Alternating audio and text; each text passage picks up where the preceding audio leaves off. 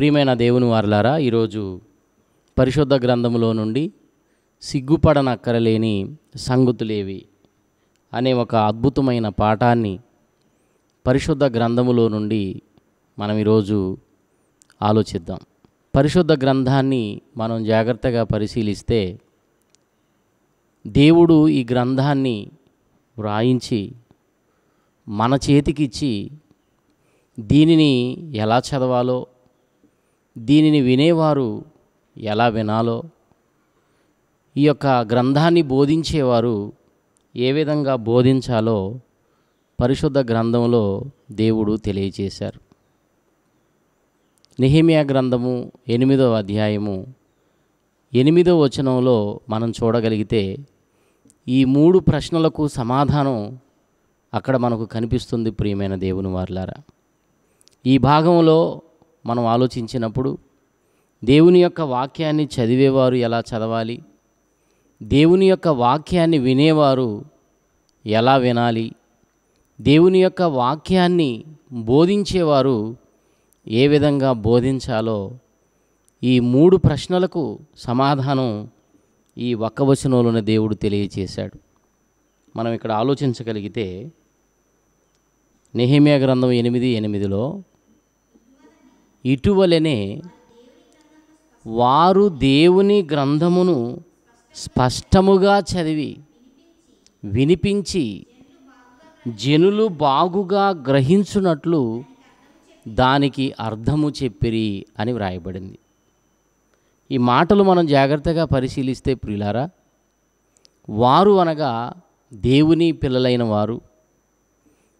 దేవుని యొక్క మరి సేవకులైన వారు దేవుని గ్రంథమును స్పష్టముగా చదివారు అని వ్రాయబడింది. వారు దేవుని గ్రంథమును స్పష్టముగా చదివి వినిపించారట. తరువాత జనులు బాగుగా గ్రహించేటట్లు దాని అర్థమును చెప్పారట. దేవుని యొక్క వాక్యాన్ని చదివేవారు స్పష్టంగా చదవాలి అని దేవుని యొక్క వాక్యం ద్వారా మనం తెలుసుకుంటున్నాం. దేవుని యొక్క వాక్యాన్ని అందరికీ అర్థమయ్యే విధంగా చదవాలి. స్పష్టంగా చదవడం అంటే అందరూ అర్థం చేసుకునే విధంగా తప్పులు పోకుండా అర్థమయ్యే విధంగా దేవుని యొక్క వాక్యాన్ని చదవాలి అని దేవుని యొక్క వాక్యంలో దేవుడు సెలవిచ్చారు. మరి ఈరోజు దేవుని వాక్యం చదువుతున్న మనం స్పష్టంగా చదవగలుగుతున్నామా? ఆలోచించాలి. స్పష్టంగా వాక్యాన్ని ఎవరు చదవగలుగుతారు అంటే ప్రతిరోజు దేవుని యొక్క వాక్యాన్ని చదివేవారు. ప్రతిరోజు వాక్యంలో కాలాన్ని గడిపేవారు. దేవుని వాక్యాన్ని స్పష్టంగా చదవగలుగుతారు. ఎప్పుడో వారానికి ఒకసారి బైబిల్ తీసుకొని చదివేవారు. దేవుని వాక్యాన్ని స్పష్టంగా చదవలేరు. దేవుడు కోరుకుంటున్నాడు తన పిల్లలైన మనం స్పష్టంగా చదివేవారంగా ఉండాలి. మనం చదువుతుంటే వినేవారికి అది అర్థం కావాలి అని దేవుడు ఈ మాటలు తెలియజేస్తున్నాడు. చదివేవారు స్పష్టముగా చదవాలి అని చూసాం తరువాత దేవుని యొక్క వాక్యాన్ని వినేవారు గ్రహించే విధంగా వినాలి అని మనం ఇక్కడ చూస్తున్నాం. దేవుని వాక్యాన్ని గ్రహించే విధంగా చాలామంది వింటారు కానీ వాళ్ళు గ్రహించరు. యేసుక్రీస్తు వారు కూడా ఈ లోకంలో ఉన్నప్పుడు ఆయన దగ్గరికి వేల మంది ప్రజలు వచ్చారు ఆయన చెబుతుంటే వింటున్నారు కానీ వాళ్ళు గ్రహించలేకపోయారు. ఎందుకు అంటే వాళ్ళ మనసుల్లో వేరే ఆలోచనలు. అందుకే ఆయన మాట్లాడుతూ మీరు వినుట మట్టుకు విందురు కానీ గ్రహించనే గ్రహించరు అని ప్రభు చెప్పాడు. ఆ మాటలనే అపోస్తుడైన పౌలు గారు కూడా తెలియజేస్తూ ఉన్నారు. మనం పరిశుద్ధ గ్రంథంలో చూడగలిగితే అపోస్తుల కార్యాలు ఇరవై ఎనిమిదో అధ్యాయము ఇరవై ఆరో వచనంలో ఈ మాటలు అక్కడ స్పష్టంగా తెలియచేయబడ్డాయి. మీరు వినుట మట్టుకు విందురు గాని గ్రహింపనే గ్రహింపరు అంటున్నాడండి. చూచుట మట్టుకు చూతురు గాని మీరు కాననే కానరని ఈ ప్రజల యొద్దకు వెళ్ళి చెప్పుము అని దేవుడు చెప్పిన సంగతిని పౌలు గారు జ్ఞాపకం చేస్తూ ఉన్నాడు. ఈ జనులు వినుట మట్టుకు వింటారు కానీ గ్రహించనే గ్రహించరు అంటున్నాడు ప్రియమైన దేవుని వార్లారా. వింటారు కానీ గ్రహించరు. అంటే శ్రద్ధగా వినరు వినరు వీరు. ఎందుకు వాక్యాన్ని గ్రహించలేకపోతున్నారంటే వాక్యం వినే విషయంలో శ్రద్ధ లేదు. శ్రద్ధ కలిగిన వారు అర్థం చేసుకుంటారు. చాలామంది దేవుని యొక్క వాక్యాన్ని వినడానికి వచ్చి ఎక్కడో ఇంట్లో ఉన్న సంగతులు ఆలోచిస్తూ ఉంటారు. వాళ్ళ బంధువుల గురించి ఆలోచిస్తారు. వాళ్ళ కార్యక్రమాల గురించి వాళ్ళు ఆలోచిస్తారు. కనుకనే వారికి వాక్యం అర్థం కాదు. వింటారు విన్నట్టుగానే ఉంటారు కానీ వారు గ్రహించలేరు అని మనం ఈ మాటల్లో చూస్తున్నాం. ఇంతకు వారు గ్రహించకుండా చేసేది ఎవరు అంటే అపవాది ప్రియులారా.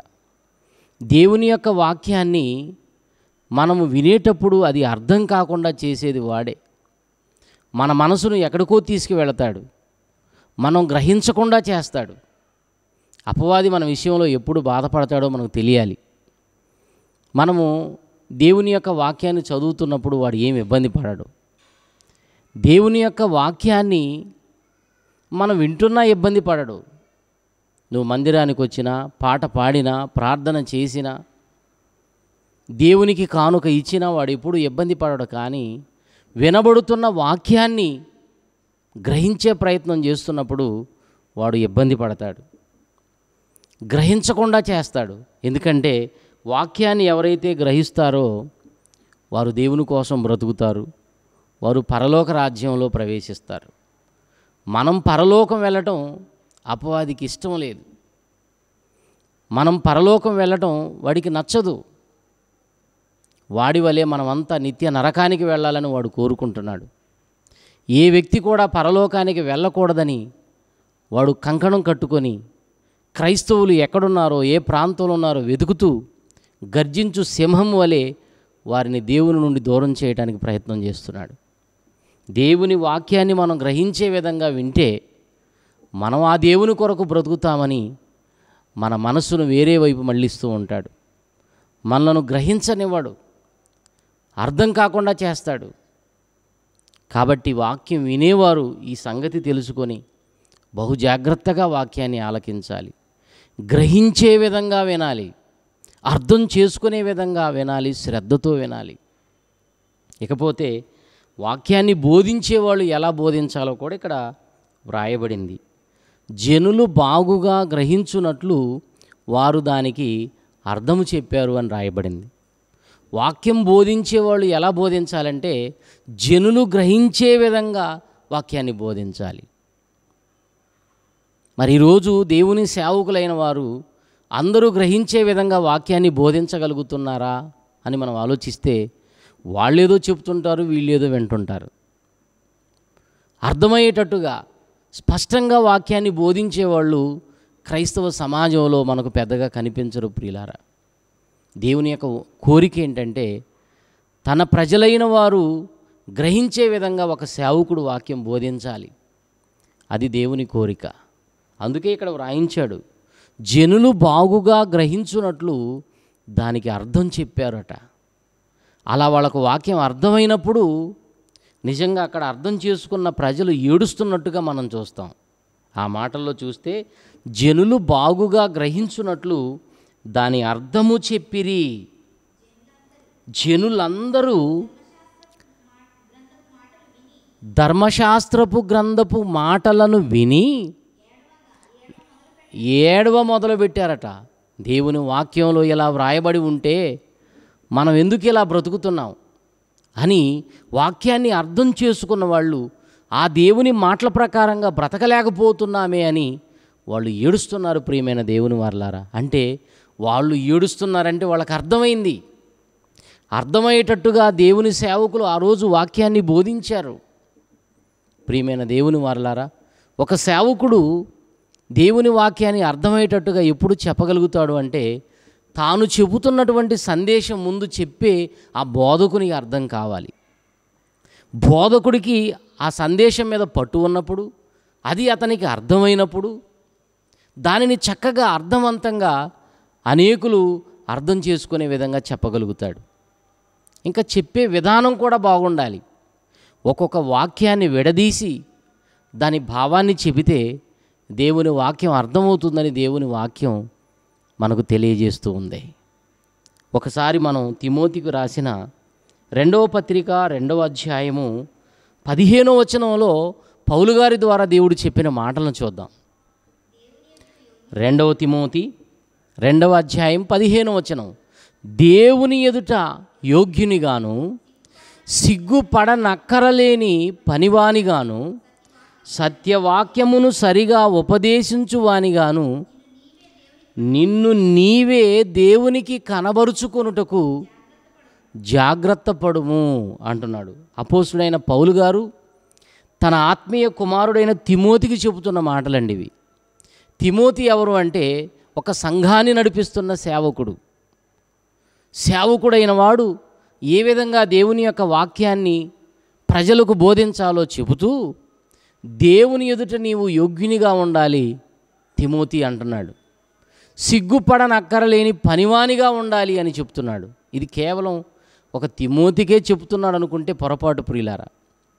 ప్రపంచంలో దేవుని వాక్యాన్ని బోధిస్తున్న ప్రతి సేవకుడికి మాటలు వర్తిస్తాయి.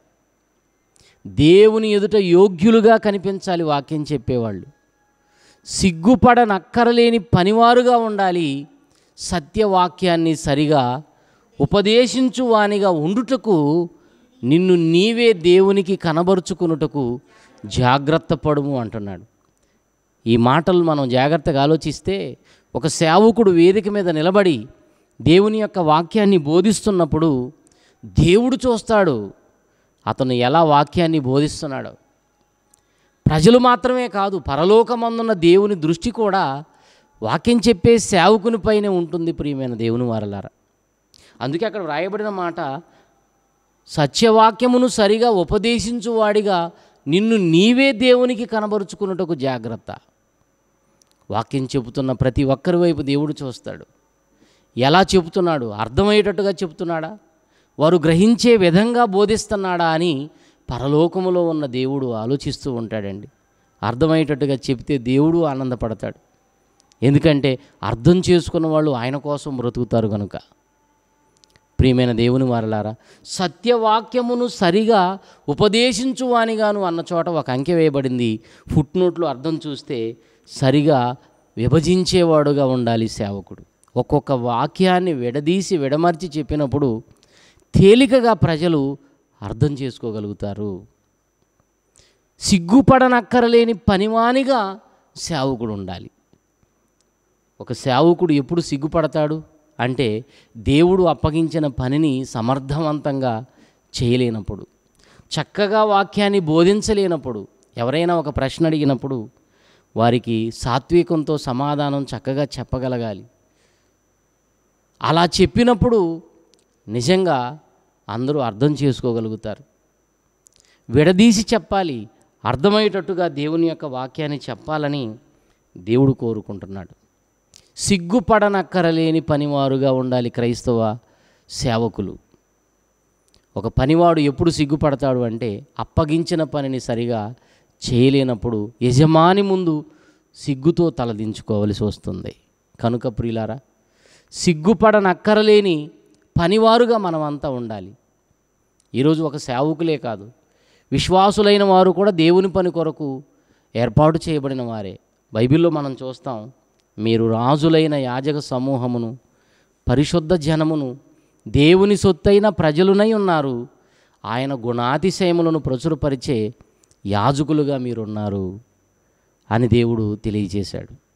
మరి దేవుని యాజకులైన మనం దేవుని గుణాతిశయములను ప్రచురపరచవలసినటువంటి మనం సిగ్గుపడనక్కరలేని పనివారుగా ఉండాలి అని దేవుడు కోరుతున్నాడు.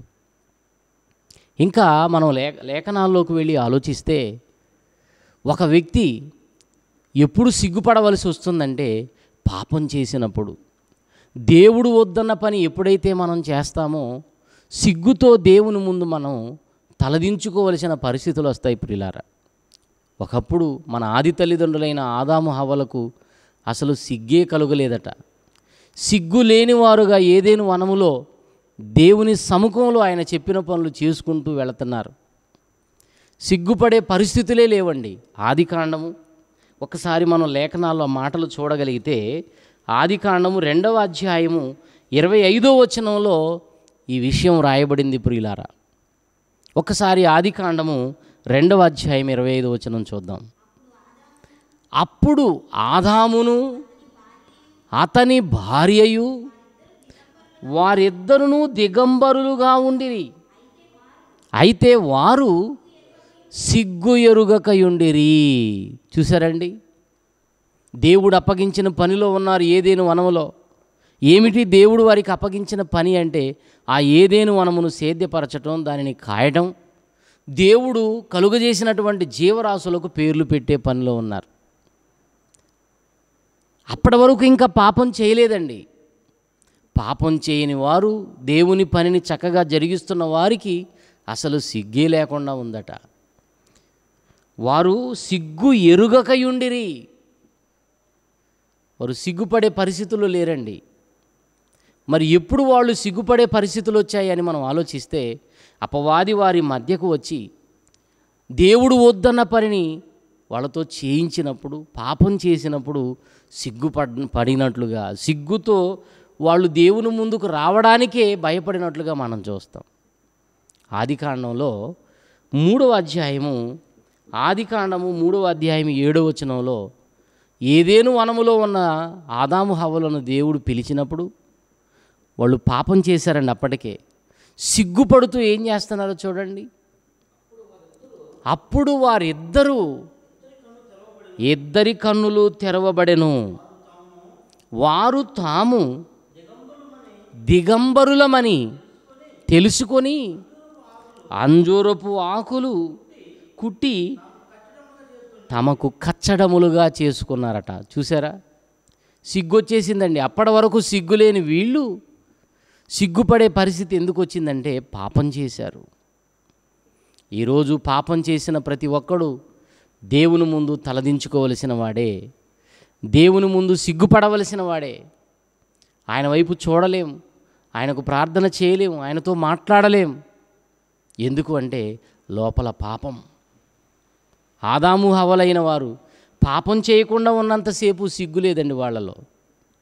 కానీ ఎప్పుడైతే పాపం చేశారో సిగ్గు అనేది ఏర్పడింది. మేము దిగంబరులుగా ఉన్నామని వాళ్ళు తెలుసుకున్నారు పాపం చేసిన తర్వాత.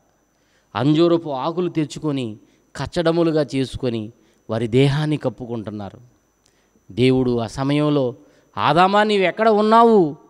అని ఆయన పిలిచినప్పుడు నీ స్వరము నాకు వినబడినప్పుడు నేను దిగంబరిగా ఉన్నాను గనక. నేను నీకు భయపడి దాగుకున్నాను. అని మాట్లాడుతున్నాడండి. నీవు దిగంబరివని నీకు తెలిపిన వాడెవడు? నేను వద్దన పని చేశావా? అని దేవుడు అడుగుతున్నాడు. ప్రియమైన దేవుని పిల్లలారా ఒక వ్యక్తికి ఎప్పుడు సిగ్గు కలుగుతుంది అంటే సిగ్గుపడతాడు అంటే పాపం చేసినప్పుడు. సిగ్గులేని మన ఆది తల్లిదండ్రులైన ఆదాము హవలు దేవుని ముందు సిగ్గుపడుతున్నారు అంటే వాళ్ళు పాపం చేశారు. మనం ఎప్పుడైతే పాపం చేస్తామో సిగ్గుపడాలి. సిగ్గుపడే సంగతి అది. సిగ్గుపడవలసిన సంగతి. ఇంకా మనం లేఖనాల్లోకి వెళ్ళి చూస్తే ఒకప్పుడు ఇస్రాయిలీలైన వారు ఎంత భయంకరమైన పాపాలు చేశారో వ్రాయబడిందండి. ఒకసారి యజ్రా గ్రంథము తొమ్మిదో అధ్యాయము ఆరో వచనాన్ని చూడగలిగితే యజ్రా గ్రంథము తొమ్మిదో అధ్యాయము ఆరవ వచనం ఆరవ వచనం. నా దేవ నా దేవ నా ముఖమును నీ వైపు ఎత్తుకొనుటకు సిగ్గుపడి ఖిన్నుడనై ఉన్నాను. నా దోషములు మా తలలకు పైగా హెచ్చిపోయినవి. మా అపరాధము ఆకాశమంత ఎత్తుగా పెరిగిపోయింది. చూశారండి? ప్రారంభ మాటలు మనం చూస్తే నా దేవా నా దేవా నా ముఖము నీ వైపునకు ఎత్తుకొని ఆ ఎత్తుకొని చూడడానికే నేను సిగ్గుపడుతున్నాను అంటున్నాడండి. ఎత్తుటకే నేను సిగ్గుపడి ఖిన్నుడనై ఉన్నాను. చూసారండి ఇస్రాయిలీలు పాపం చేసినప్పుడు వాళ్ళ పరిస్థితి అండి. ఇక్కడ మనం ఆలోచిస్తేనండి మీ వైపు మేము తల ఎత్తుకోలేకపోతున్నాము సిగ్గుపడుతున్నాము. అని మాట్లాడుతున్నారు. ఎందుకంటే మా దోషములు మా తలకు పైగా మించిపోయినవి. అవి ఆకాశమంత ఎత్తుగా ఉన్నవి. భయంకరమైన పాపాలు చేస్తున్నారండి ఇస్రాయేలీలు. అందుకే దేవుని వైపు చూడలేని పరిస్థితి. సిగ్గుపడుతున్నారు. ఎవరికి ఈ లోకంలో సిగ్గు అంటే పాపంలో బ్రతుకుతున్న వారికి. నిజంగా మేము పాపం చేస్తున్నామని తెలుసుకుంటే వాళ్ళు సిగ్గుపడాలి. కానీ కొంతమంది ఎన్ని పాపాలు చేసినా వాళ్ళలో సిగ్గు కనిపించదు. కారణం ఏమిటో కూడా బైబిల్లో రాయబడింది ఒకసారి మనం ఎహెజ్గేలు గ్రంథం చూస్తే ఎహెజ్గేలు గ్రంథములో రెండవ అధ్యాయము నాలుగో వచనాన్ని చూస్తే ప్రియులారా ఎహెజ్గేలు గారు చాలా మంచి విషయాన్ని తెలియజేశారు. వారు సిగ్గుమాలిన వారును కఠిన హృదయులనై ఉన్నారు అంటున్నాడు చూసారా ఎవరికి సిగ్గు ఉండదంటే హృదయాన్ని కఠినపరుచుకుని ఎవరైతే తప్పులు చేస్తారో ఇక వారికి సిగ్గు అనేది ఉండదండి. సమాజంలో మనం చూస్తుంటాం. దేవుని యొక్క వాక్యాన్ని వింటుంటారు తప్పులు చేస్తూనే ఉంటారు. కానీ వాళ్ళు సిగ్గుపడరు. ఎందుకు అంటే వాళ్ళు తప్పులు చేయడానికి అలవాటు పడ్డారు హృదయాన్ని కఠినపరుచుకున్నారు. ఎవరైతే హృదయాన్ని కఠినపరుచుకుంటారో ఇక వాళ్ళకి సిగ్గుండదు మనం చేస్తున్న పనులు సమాజంలో ఉన్న వాళ్ళు చూస్తున్నారని కూడా వాళ్ళు అనుకోరు. కళ్ళు మూసుకొని భయంకరంగా పాపంలో కొనసాగుతుంటారు ప్రియమైన దేవుని వారలారా. వారు సిగ్గుమాలిన జనులు అంటే వారికి వారికి వారికి సిగ్గు లేదు. ఎందుకు అంటే హృదయాన్ని ఏం చేసుకున్నారు? కఠినం చేసుకున్నారు. ఈరోజు సమాజంలో చూడండి హృదయాన్ని కఠినం చేసుకొని పాపాలు చేస్తున్నారండి. దొంగతనాలు మోసాలు వ్యభిచారం భయంకరమైనటువంటి పాపాలు చేస్తూ ఉన్నారు. కారణం ఏంటంటే హృదయం కఠినం చేసుకున్నారు. మమ్మల్ని ఎవరు చూడరు మాకేం కాదు మమ్మల్ని ఎవరు ఏమీ చేయలేరన్న ఆలోచనతో సిగ్గుమాలి వాళ్ళు పాపం చేస్తూ ఉంటారు. ప్రియమైన దేవుని పిల్లలారా దేవుని పిల్లలుగా మనం ఎప్పుడు సిగ్గుపడాలంటే దేవుడు మనకు అప్పగించిన పనిని సమర్థవంతంగా చేయలేనప్పుడు విపరీతంగా మనం పాపాలు చేస్తున్నప్పుడు కఠిన హృదయం చేసుకొని మనం దేవుని ఎదుట పాపాలు చేస్తున్నప్పుడు నిజంగా మనం సిగ్గుపడాలి. మనం సిగ్గుపడాలి. ఇంకా ఒక మంచి మాట క్రైస్తవులకు దేవుడు రాయించాడు. పిలిపిలకు రాసిన పత్రిక క్రైస్తవుడు సిగ్గుపడవలసిన సంగతి. బైబిల్లో సిగ్గుపడవలసిన సంగతులు ఉన్నాయి సిగ్గుపడనక్కరలేని సంగతులు ఉన్నాయి. ఇప్పుడు మనం చూస్తున్నది సిగ్గుపడవలసిన సంగతులు. క్రైస్తవులుగా దేవుని పిల్లలుగా ఏ విషయంలో మనం సిగ్గుపడాలో దేవుడు వ్రాయించాడండి. పిలిపిలకు రాసిన పత్రిక మూడవ అధ్యాయము పద్దెనిమిది నుండి పంతొమ్మిది వచనాలు చూడగలిగితే అనేకులు క్రీస్తు శిలువకు శత్రువులుగా నడుచుకొనుచున్నారు. వీరిని గూర్చి మీతో అనేక పర్యాయములు చెప్పి ఇప్పుడును ఏడ్చుచూ చెప్పుచున్నాను. నాశనమే వారి అంతము వారి కడుపే వారి దేవుడు. వారు తాము సిగ్గుపడవలసిన సంగతుల యందు అతిశయపడుతున్నారు. భూ సంబంధమైన వాటి ఎందే మనసుంచుతున్నారు చూశారండి? ఎంతోమంది క్రైస్తవ్యంలో క్రీస్తు శిలువకే శత్రువులుగా నడుస్తున్నారట. ఎవరు ఈ క్రీస్తు శిలువకు శత్రువులు అంటే శరీర సుఖభోగాలకు అలవాటు పడినవారు. వాళ్ళకు సుఖాలు కావాలి. వాళ్ళ ఆనందం వాళ్ళకు కావాలి. దాని కొరకే ఆరాటపడుతుంటారండి. సుఖాల కోసం ఆరాటపడుతుంటారు. దేవునిలోకి వచ్చి కూడా దేవుని పిల్లలమని చెప్పుకుంటూ సుఖాలు కోరుకుంటారండి. నాశనమే వారి అంతము అన్నాడు.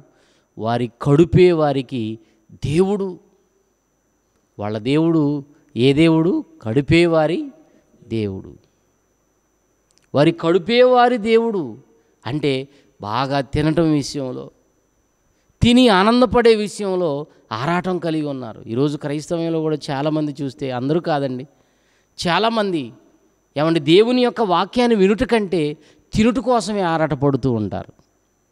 దేవుని వాక్యం కోసం మనం వచ్చినప్పుడు అక్కడ భోజనం ఉన్నా లేకపోయినా దేవుని యొక్క వాక్యాన్ని మనం విని ఆత్మీయతలు ఎదగాలన్న ఆలోచనలు లేవు కానీ ఏదైనా కార్యక్రమానికి పిలవగానే అక్కడ భోజనాలు ఉంటాయని అడుగుతుంటారండి.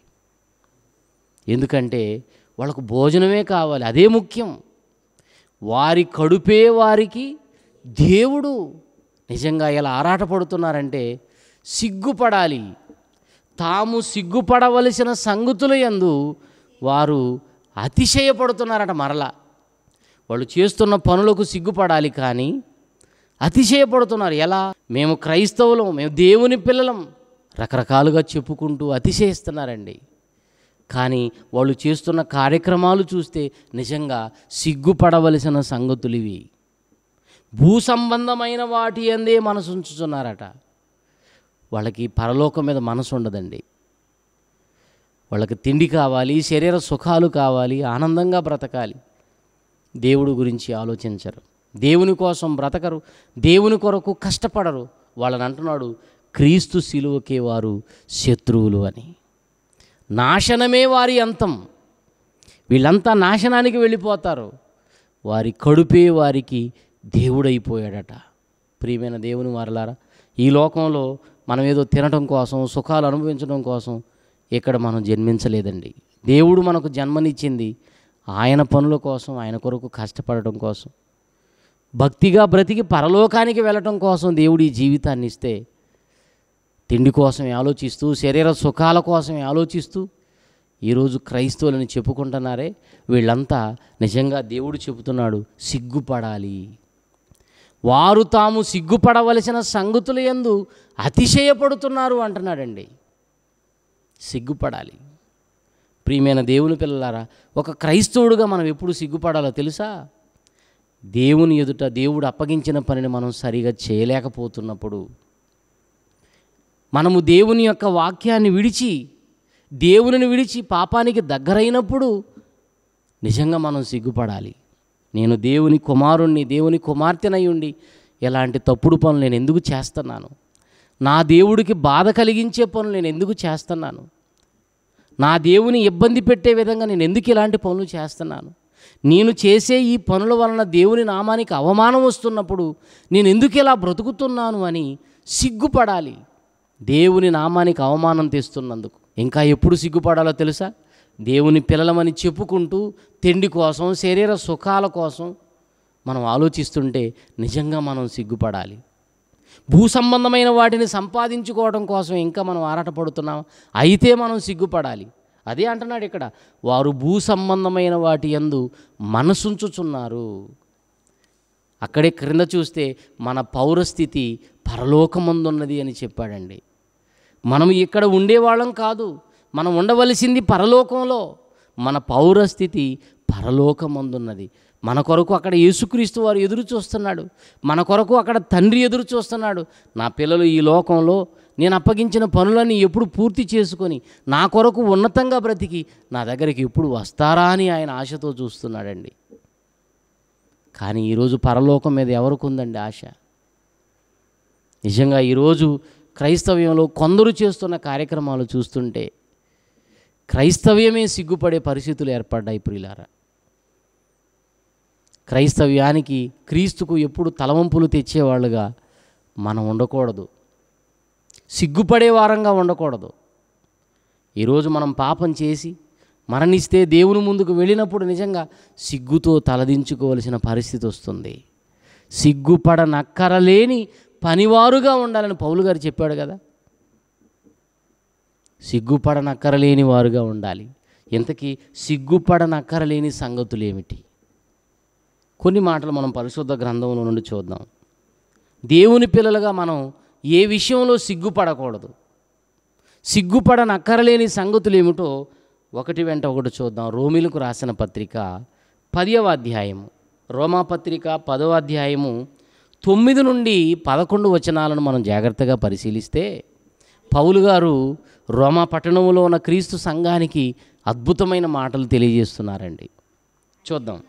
అదేమనగా యేసు ప్రభు అని నీ నోటితో ఒప్పుకొని దేవుడు మృతులలో నుండి ఆయనను లేపెనని నీ హృదయమందు విశ్వసించిన ఎడల నీవు రక్షింపబడుదువు. ఏలయనగా నీతి కలుగునట్లు మనుషుడు హృదయములో విశ్వసించును రక్షణ కలుగునట్లు నోటితో ఒప్పుకొనును. ఏమనగా ఆయన యందు విశ్వాసముంచువాడు ఎవడును? సిగ్గుపడడని లేఖనము చెప్పుచున్నది. చూసారా ఆయన ఎందు విశ్వాసం ఉంచిన వాడు ఎవడును కూడా సిగ్గుపడడు అని లేఖనము చెప్పుచున్నది. మనం ప్రభువును నమ్మినందుకు ఆయన ఎందు విశ్వాసంతో బ్రతుకుతున్నందుకు సిగ్గుపడకూడదటండి. ఆయన నమ్మిన మనం ఆయన ఒప్పుకోవాలి నేను దేవుని బిడ్డను అని. నేను దేవుని నమ్మాను అని సమాజంలో మనం చెప్పాలి. మన ప్రభువును మన నోటితో ఒప్పుకోవాలి. యేసు ప్రభు అని నీ నోటితో ఒప్పుకొని నీ హృదయమందు నీవు విశ్వసించిన ఎడల నీవు రక్షింపబడతావు. యేసు ప్రభు అని నీ నోటితో ఒప్పుకొని దేవుడు మృతులలో నుండి ఆయనను లేపినని నీ హృదయమందు విశ్వసించిన ఎడల నీవు రక్షింపబడతావు.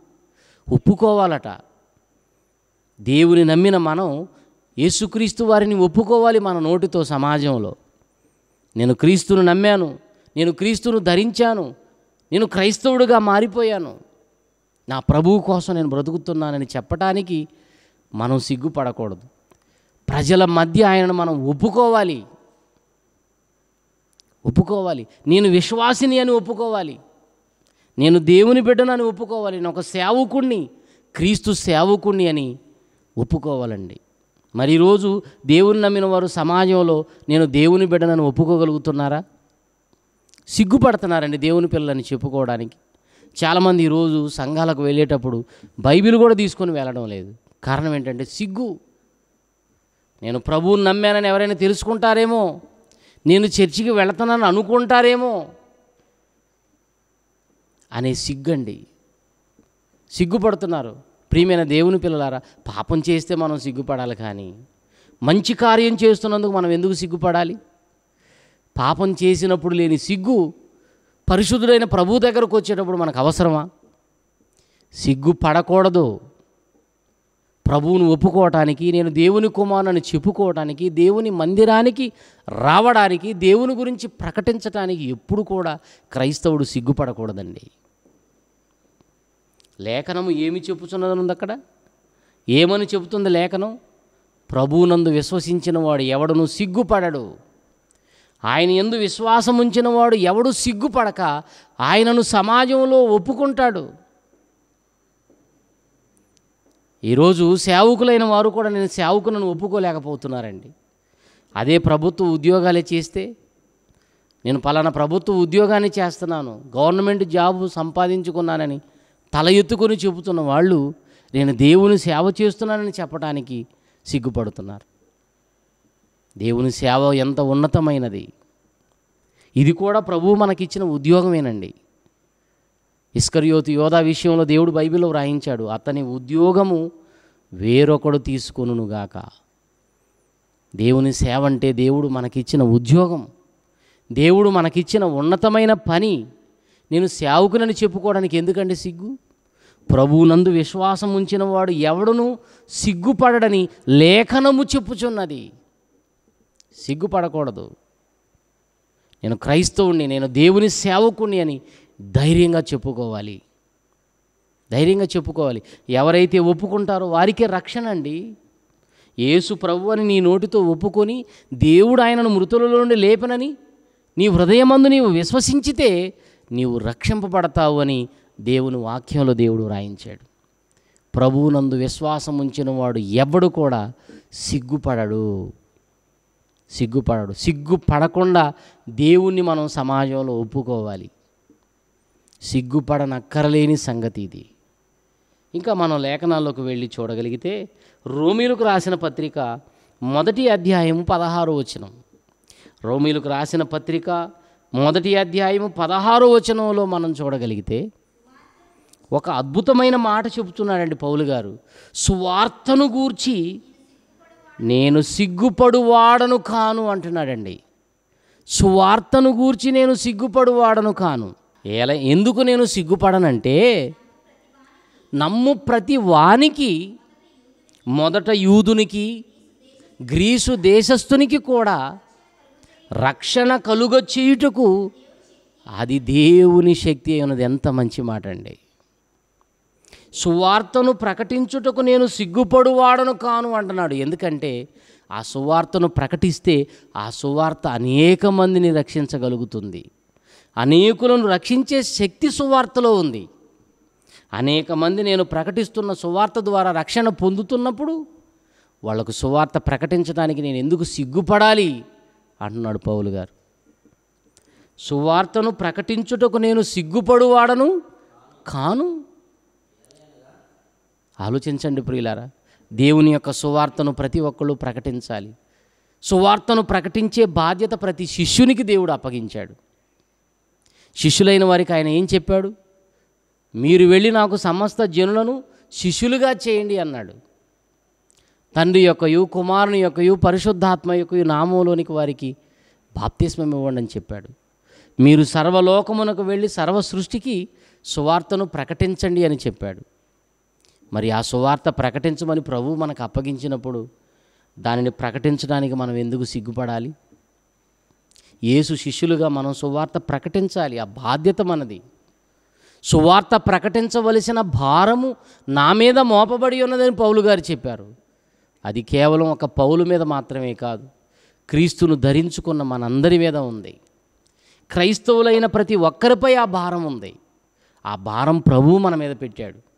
ఆ సువార్తను ప్రకటించడానికి ఈరోజు మనం సిగ్గుపడితే అనేక మంది మన కళ్ళ ముందే నరకానికి వెళ్ళిపోతారు ప్రియమైన దేవుని వారలారా. ఈరోజు వాక్యం బాగా చదువుతూ ఎన్నో సంవత్సరాలుగా దేవుని సన్నిధికి వచ్చి దేవుని యొక్క వాక్యాన్ని వింటున్న క్రైస్తవులు ఎన్నో ప్రసంగాలైతే నేర్చుకుంటున్నారు కానీ విన్న ఆ మాటలను ప్రజలకు వెళ్ళి చెప్పడానికి సిగ్గుపడుతున్నారు. నన్నేమైనా అనుకుంటారేమో? అని ఈ సిగ్గుతో ఈరోజు దేవుని యొక్క వాక్యం చెప్పకుండా తప్పించుకు వెళుతున్నారండి. నాకు ఒక సోదరుడు తెలుసు. ఆయన బైబిల్ తరఫీదు కూడా చేశాడు. ఆయన ఎక్కడైనా వాక్యం చెబుతున్నప్పుడు ఆడవాళ్ళు కనుక అక్కడికి వచ్చారంటే వెంటనే వాక్యం ముగించి కూర్చుంటాడండి. ఎందుకు అంటే సిగ్గు. మరి ఆడవాళ్ళైతే వాక్యం చెప్పవా? వాళ్ళు నరకానికి వెళ్ళటం నీకు ఇష్టమా బైబిల్లో దేవుడు ఏం చెప్పాడు? దుష్టుడు మరణము నొందుట నాకేమాత్రమైన సంతోషం కలుగునా? వారు తమ ప్రవర్తనను దిద్దుకొని బ్రతుకుటయే నాకు సంతోషమని దేవుడు చెప్పాడు. ఒక దుష్టుడు నరకానికి వెళ్ళటం దేవునికి ఇష్టం కాదండి. మరి ఆ దుష్టుడు నరకానికి వెళ్ళకుండా ఉండాలంటే ఆ నరకం అనే ప్రమాదం నుండి తప్పించగలిగిన శక్తి దేనికి ఉందంటే సువార్తకు ఉంది అదే పౌలు గారు చెప్తున్నాడు సువార్తను ప్రకటించుటకు నేను సిగ్గుపడు వాడను కాను. ఎందుకంటే అది అనేకులను రక్షించే శక్తి దానికి ఉంది ఆ సువార్తకి అనేకులను రక్షించే శక్తి ఉన్నది కనుక నేను ఎందుకు సిగ్గుపడాలి? మనుషులను రక్షిస్తున్నప్పుడు నేను ఎందుకు సిగ్గుపడాలి?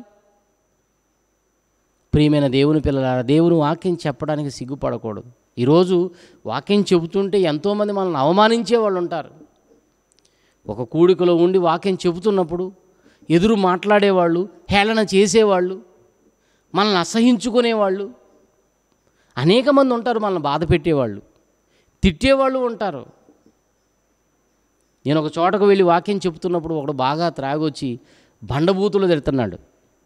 ఎవరో తిడుతున్నారని ఎవరో మనల్ని నిందిస్తున్నారని సిగ్గుపడి దేవుని వాక్యం ప్రకటించడం మానుకుంటే మన కళ్ళ ముందే ఎంతోమంది పాపం చేస్తున్నవారు నిత్య నరకానికి వెళ్ళిపోతారు ప్రియులారా.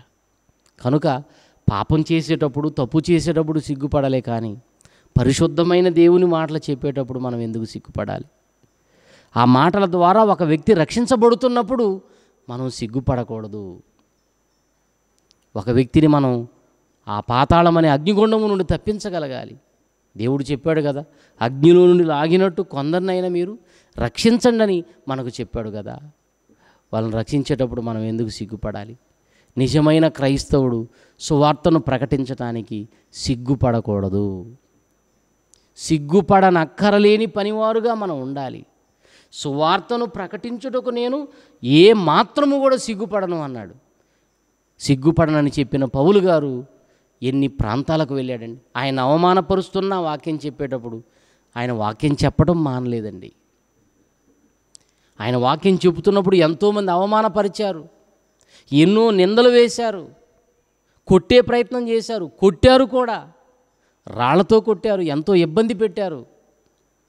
ఒకరోజైతే అయితే నుండి ఈ కొని నుండి వచ్చినటువంటి యూదులు పౌలు మీద రాళ్ళు రువి అతను చనిపోడని పట్టణం వెలుపలికి అతన్ని ఈడ్చుకుని పోయారండి. ఇంకా ప్రాణం పోలేదు. ఈ పట్టణంలో నాకు అవమానం జరిగింది. నాకు బాధ కలిగిందని ఆ ప్రాంతాన్ని విడిచిపెట్టి వెళ్ళలేదు. మరలా మరుసటి రోజే ఆ ప్రాంతంలో మళ్ళీ అక్కడే వాక్యం చెప్తున్నాడండి. నిజంగా మనమైతే అలాంటి పనులు చేయగలుగుతాం. ఎవరైనా మనల్ని ఏ ప్రాంతంలో నిందిస్తే ఏ ప్రాంతంలో ఉన్న వాళ్ళైనా మనల్ని కొట్టి కొడితే ఇబ్బంది పెడితే మనల్ని కొట్టి ఇబ్బంది పెట్టినప్పుడు ఆ ప్రాంతంలో మరలా మనం సువార్త ప్రకటించగలుగుతాం. ఆ ప్రాంతంలో వాక్యం చెప్పడానికే సిగ్గుపడుతుంటాం. కానీ పౌలు సిగ్గుపడకుండా ఆ ప్రాంతంలో కూడా ఎందరినో ఈ సత్యవాక్యం ద్వారా రక్షణ మార్గంలోనికి తీసుకొచ్చాడు. సువార్తను ప్రకటించుటకు నేను సిగ్గుపడువాడను కాను అంటున్నాడండి. సిగ్గుపడువాడను కాను అంటున్నాడు. ఈరోజు మనం సువార్త ప్రకటించడానికి ఒకవేళ సిగ్గుపడితే రేపు ప్రభువు మనల్ని చూసి సిగ్గుపడతాడట. ఒక్కసారి ఆ లేఖనాన్ని మనం చూడగలిగితే లూకాసు వార్త తొమ్మిదవ అధ్యాయం. లూకాసు వార్త తొమ్మిదవ అధ్యాయము ఇరవై ఆరో వచనమును మనం చూడగలిగితే ఇరవై ఆరో వచనంలో నన్ను గూర్చియు. ప్రభు చెప్తున్నాడండి. నన్ను గూర్చియు. నా మాటలను గూర్చియు. సిగ్గుపడువాడు ఎవడో? వానిని గూర్చి మనుష్య కుమారుడు తనకును తన తండ్రికిని పరిశుద్ధ దూతలకును కలిగి ఉన్న మహిమతో ఆయన వచ్చినప్పుడు వానిని చూసి సిగ్గుపడతాడట. ఈరోజు క్రీస్తు సువార్తను ప్రకటించడానికి మనం సిగ్గుపడితే రెండవ రాకడలో పరిశుద్ధ దూతలతో ప్రభు వచ్చినప్పుడు మనల్ని చూసి తండ్రి ముందు సిగ్గుపడతాడట. ఎందుకయ్యా నీవు మమ్మల్ని చూసి సిగ్గుపడుతున్నావంటే ఒకప్పుడు నా వాక్యాన్ని చెప్పడానికి కూడా నువ్వు ఇలానే సిగ్గుపడ్డావని ఆయన మనకు జ్ఞానోదయం కలిగిస్తాడు ఆ రోజు. అయినా మనకేం ప్రయోజనం ఉండదండి. ప్రభు వచ్చిన తర్వాత ఆయన ముందు నేరస్తులుగా మనం నిలబడ్డామా? నీకు ఆ రోజు అర్థమైన ప్రయోజనం ఏమీ ఉండదు. ఆ మాటల ద్వారా నీకు జ్ఞానోదయం కలిగినా నీకు ఉపయోగం ఏమీ లేదు. నువ్వు నరకానికి వెళ్ళిపోతావు. కాబట్టి ప్రభు యొక్క సువార్తను ప్రకటించడానికి ఎప్పుడు కూడా మనం సిగ్గుపడే వారంగా ఉండకూడదు ప్రియులారా. ధైర్యంతో దేవుని మాటలు చెప్పాలి. సిగ్గుపడకుండా చెప్పాలి. సంతోషంగా చెప్పాలి. నేను ఈ మాటలు చెబుతున్నాను వినేవాళ్ళు పరలోకానికి వెళతారు రక్షణ మార్గంలో వాళ్ళు నడుస్తారు రక్షించబడతారన్న ఆలోచనతోనే మనం దేవుని యొక్క వాక్యాన్ని చెప్పాలి. దేవుని యొక్క వాక్యంలో చూసినప్పుడు చావునకై పట్టబడిన వానిని నీవు తప్పించవా? నరకంలో పడుటకు జోగుచున్న వానిని నీవు కాపాడవా అని దేవుడు చెబుతున్నాడండి. మరి సిగ్గుపడితే మనం ఎలా కాపాడగలం? కాబట్టి ప్రియమైన దేవుని పిల్లలారా ఎవరో ఏదో అంటారని ఎవరో నన్ను నిందిస్తారని నన్నేదో హేళన చేస్తున్నారని మనం ఎప్పుడు కూడా సిగ్గుతో వాక్యం చెప్పడం మానేయకూడదు. పౌలు గారు నిజంగా సిగ్గుపడకుండా ఎన్ని ప్రాంతాలకు వెళ్ళాడండి. నిజంగా ఈ రోజైనా సరే దేవుని వాక్యము అంతో ఎంతో ప్రజలకు తెలుసు గనక వాళ్ళు అర్థం చేసుకోగలుగుతారు. ఒకప్పుడు పౌలు అన్యజనుల మధ్య వాక్యం ప్రకటిస్తున్నప్పుడు అసలు ఈ దేవుడే ఎవరికి తెలియదు. ఎంత అవమానించి ఉంటారు ఎంత నిందించి ఉంటారు అలాంటి వారి మధ్య కూడా ఎప్పుడు సిగ్గుపడకుండా సువార్తను ప్రకటించాడు అనేక సంఘాలను దేవుని నామ ఘనత కొరకు కట్టాడు ఆయన. మనకు చెబుతున్నాడు సువార్త ప్రకటించడానికి సిగ్గుపడవద్దు అని. మరొక విషయాన్ని మనం బైబిల్లో చూస్తే పేతురు మొదటి పత్రిక. పేతురు గారు రాసిన మొదటి ఉత్తరం నాలుగు అధ్యాయం పదహారో వచనంలో మరొక సంగతిని దేవుడు వ్రాయించాడు. ఎవడైనను క్రైస్తవుడైనందుకు బాధ అనుభవించిన ఎడల అతడు సిగ్గుపడక ఆ పేరును బట్టి దేవునిని మహిమపరచవలను అంటున్నాడండి. చూసారా ఎంత మంచి మాట చెప్పాడు? ఎవడైనను క్రైస్తవుడైనందుకు బాధ అనుభవించిన ఎడల అతడు సిగ్గుపడకూడదు. క్రైస్తవునికి బాధ వస్తుంది క్రైస్తవుడైనందుకు బాధలు పడాలి మనం. చాలామంది క్రైస్తవులు అయితే మా బాధలన్నీ పోతాయని చూస్తున్నారండి. మా ఇబ్బందులు పోతాయి మా కష్టాలు తొలగిపోతాయి. మాకు అన్నీ కలిసి వస్తాయి. మేము ఎంతో సంపాదించుకోగలుగుతాం.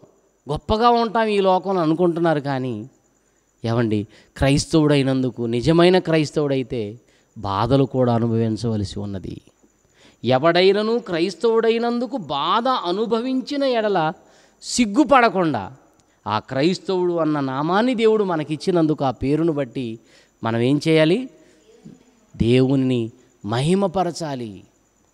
సిగ్గుపడకూడదు. మనకు బాధలు వస్తాయా ప్రభువుని నమ్ముకుంటే అవునండి. నిజంగా బైబిల్లో మనం చూస్తేనండి దేవుని కోసం నమ్మకంగా బ్రతికిన దేవుని పిల్లలందరూ కూడా ఎన్నో బాధలు అనుభవించినట్టుగా బైబిల్లో మనం చూడగలం. ఎన్నో కష్టాలు ఎన్నో అవమానాలు ఎన్ని బాధలు పడ్డారండి దేవుని కోసం బ్రతుకుతున్న వాళ్ళు.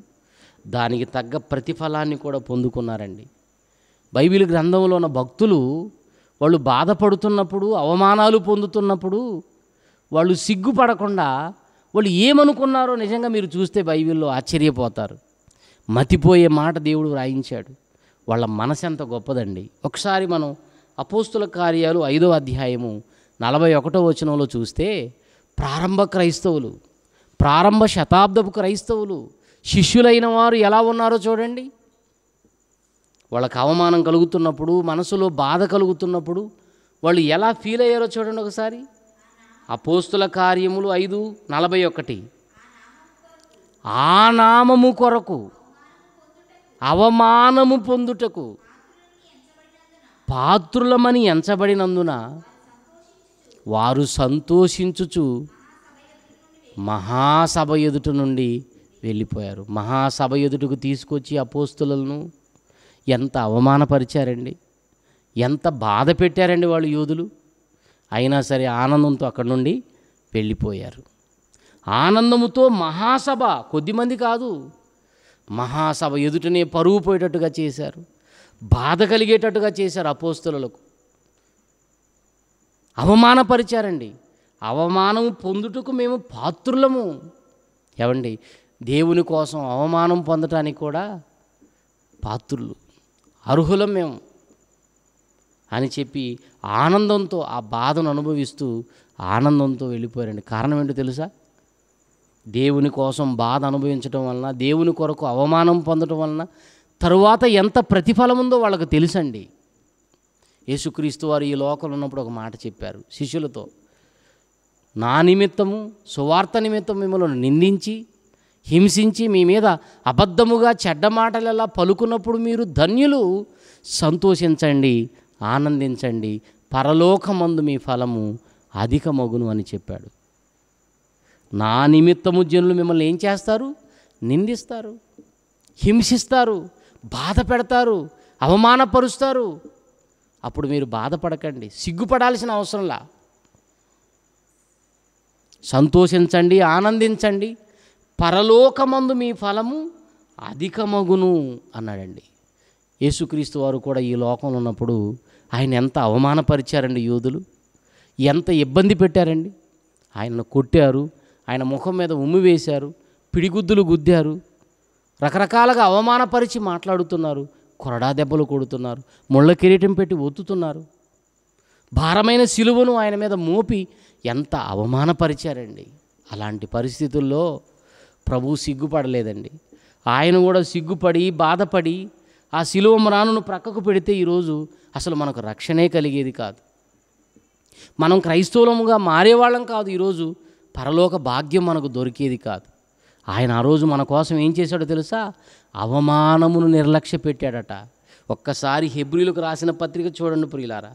హెబ్రిలకు రాసిన పత్రిక పన్నెండవ అధ్యాయము మొదటి వచనము నుండి మీరు చూడగలిగితే దేవుని కొరకు అవమానం పొందిన వారంతా మనకు కనిపిస్తారు. అక్కడ క్రీస్తు కూడా ఏం చేశాడో మనకు కనిపిస్తుంది. ఇంత గొప్ప సాక్షి సమూహము మేఘము వలె మనలను ఆవరించి ఉన్నందున మనము కూడా అన్నాడండి. పాత నిబంధన కాలంలో క్రీస్తుకు పూర్వం ఎంతోమంది భక్తులు బాధలు పడ్డారు. అవమానాలు పొందారు. ఎంతో ఇబ్బంది పడ్డారు ప్రజల వలన. ఏమన్నాడు ఇక్కడ? మనము కూడా అని మనకు కలిపాడండి. మనము కూడా ప్రతి భారమును సులువుగా చిక్కులు పెట్టు ప్రతి పాపమును విడిచిపెట్టి విశ్వాసమునకు కర్తయు దానిని కొనసాగించువాడునైన యేసు వైపు చూచుచూ మన ఎదుట ఉంచబడిన పందెములో ఓపికతో మనం పరుగెత్తుదము. ఆయనంటే ఎవరిక్కడ? యేసుక్రీస్తండి. ఆయన తన ఎదుట ఉంచబడిన ఆనందము కొరకై అవమానమును కూడా ఏం చేశాడట? నిర్లక్ష్య పెట్టాడట. ఒక ప్రక్క ఆయన అవమానపరుస్తుంటే ముఖం మీద ఉమ్ము వేస్తూ కొరడా దెబ్బలు కొడుతూ ముళ్ళ కిరీటం పెట్టి ఒత్తుతూ ఆయన నిందిస్తూ ఎంతో అవమానపరుస్తుంటే అవమానమును కూడా ఆయన నిర్లక్ష్య పెట్టాడట. ఒక సిలువ సందర్భంలోనే కాదండి. ఆయన భూమి మీద ఉన్నంతకాలం ఎన్ని అవమానాలు. ఇతను పాపులకు స్నేహితుడు అన్నారు. ఇతను తిండిపోతూ త్రాగుబోతూ అన్నారు. ఏమండి? రకరకాలుగా అవమానపరిచాడండి. అవమానపరిచారండి యూదులు. వీడు దయ్యం పట్టినవాడు. బెయిల్ జబూలు వలననే ఇవన్నీ చేయగలుగుతున్నాడు అని ఎంత అవమానపరిచారండి. ఆ అవమానాలన్నీ ఏం చేశాడు? లక్ష్య పెట్టాడా? నిర్లక్ష్య పెట్టాడా? అవమానమును నిర్లక్ష్య పెట్టి ఆ సిలువను కూడా ఏం చేశాడు మన కొరకు? సహించి దేవుని కుడిపార్శ్వమును ఈరోజు ఆసీనుడై ఉన్నాడు ఆనందంగా. చూసారా ఆ రోజు అవమానాలు ఈరోజు తండ్రి కుడి ఆయన కనబడుతున్నాడు.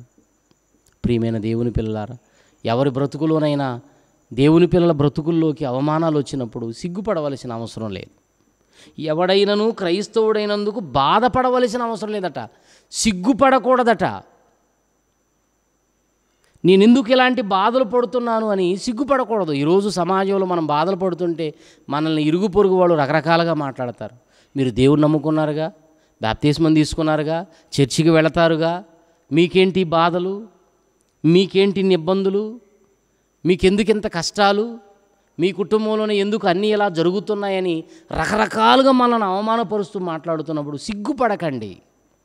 ఎవడైనను క్రైస్తవుడైనందుకు బాధ అనుభవించిన ఎడల ఆ పేరును బట్టి దేవునిని మహిమపరచాలే తప్ప సిగ్గుపడకూడదు. యేసుక్రీస్తు సిగ్గుపడలేదు.